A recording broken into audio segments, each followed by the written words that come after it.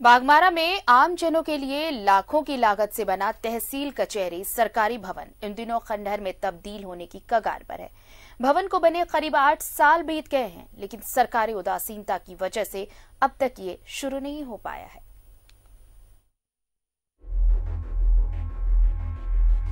हरियाणा पंचायत में स्थित तहसील कचहरी भवन खंडहर में तब्दील हो चुका है। या यूँ कहें कि अब ये अपने अंतिम साँसें गिन रहा है। बागमारा अंचल कार्यालय द्वारा निर्मित ये कार्यालय हरिणा गोमो मुख्य मार्ग पर इस सोच के साथ बनाया गया था कि तहसील कचहरी से जुड़े जरूरतमंद ग्रामीणों को काफ़ी सुविधा होगी। पर यह भवन तो 2012 में बनकर तैयार हो गया, लेकिन इतने साल बाद भी आज तक इसका शुभारंभ नहीं हो पाया।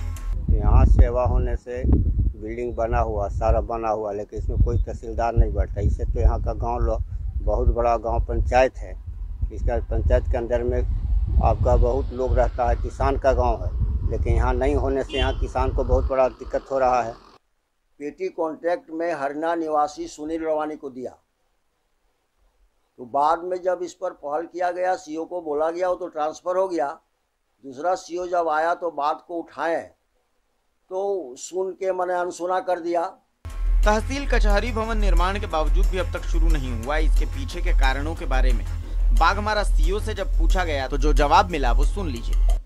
देखिए, ये 2012 का मामला है, जहाँ तक हमने जाँच में इसको पाया है। 2012 में ये बन करके तैयार हुआ था। उसके बाद से शायद उसमें कोई एक्टिविटी नहीं हुई है।